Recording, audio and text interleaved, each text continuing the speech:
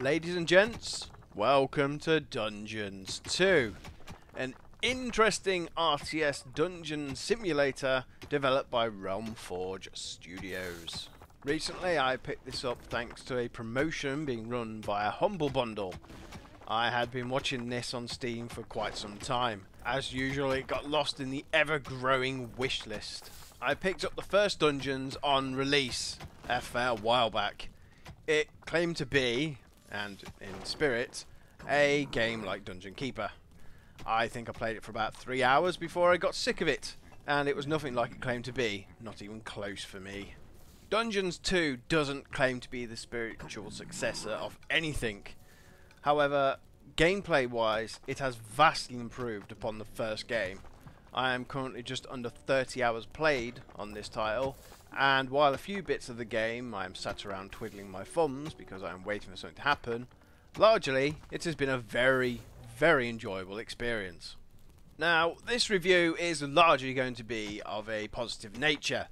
I only have one gripe with this game, and I will just get it out of the way now so we can move on to the good stuff. It's not even that much of an issue, but it does annoy me every time I boot the game up and that's the fact that you have to click login on a bloody launcher and then another button to get into the damn game. Ditch the damn launcher already. When I click play on Steam, I want it to do just that.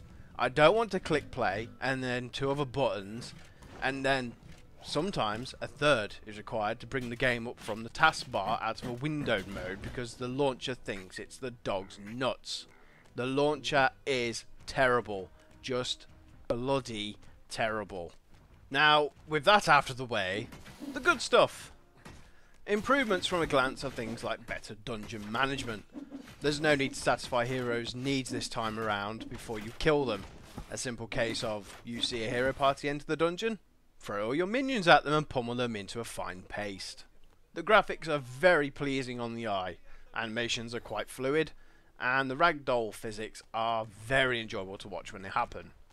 I found this game very easy to pick up and play with no issue. Uh, introductions into the mechanics are well planned and play out wonderfully. The Hand of Terror can be a little bit clumsy and bothersome to use at times. Picking up things by mistake happens quite often from my personal experience. It does really take some getting used to, and even then you might end up picking something up accident, like a toolbox in the Tinker's Cave instead of simply clicking the room itself to see what it is actually producing. Like I said earlier, the game does have a pretty weak pacing about it. While heroes do come in waves every, I don't know, 15 minutes or so, in a high level dungeon later on it does drag a bit. There's not much to build and you're usually just waiting for stuff to be researched. In one of my games, in a skirmish, I decided to leave the game running while I went about doing something else. I was low on gold and I was waiting for toolboxes. Two hours later, I returned to a huge full treasury, all of my minions doing pretty much nothing except working out in the arena. I had no traps at all in my dungeon, just a guard post, where the heroes entered my dungeon with a horn built into it. Heroes would enter, horn would sound off, and my minions would simply destroy them. There was nothing they could do to stop it. I left the game running like it for two hours, and honestly, it was a little bit disappointing to see that the heroes wouldn't try and adapt to this AFK tactic. Now, to something else. The narrator. He's a funny bloke, and often references other games or other pop culture stuff as he starts rambling. Usually in other games this would get tiresome, but in this one it was actually very amusing and you don't hear the same lines over and over. They are generally mixed up quite well. The RTS element comes forward when you attack the heroes in the overworld. While underground it feels very Dungeon Keeper-esque, the overworld plays more like Warcraft 3. The combination of the two genres works here really well and is very well executed. Overall, I have to say, this is what the first Dungeons should have been like. Despite the somewhat slow pacing at times, it's still a fantastic game and extremely enjoyable. I would now, quite honestly, love to see the devs from this game and the devs from War from the Overworld join up and give us the real Dungeon Keeper 3 experience we have all craved for so many years. Both games have great things about them. I mean, in this game, you finally go to the surface and raid towns and burn them down.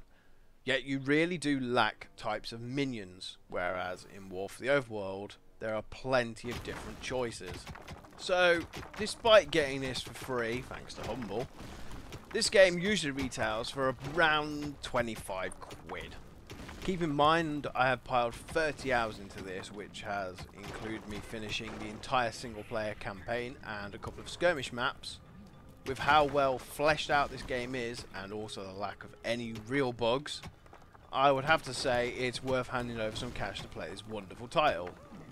25 quid is really a bit steep for a game that is now bordering on two years old, if not just over. Honestly, I would wait for a sale and then grab it. Don't do what I did and wait for two years before playing this, however. It really is a great experience.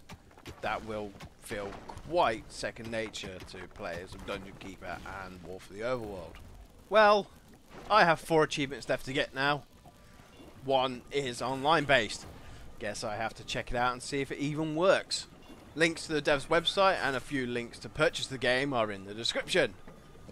I'm off to slap some more snotlings. I think I have issues. I like slapping stuff way too much.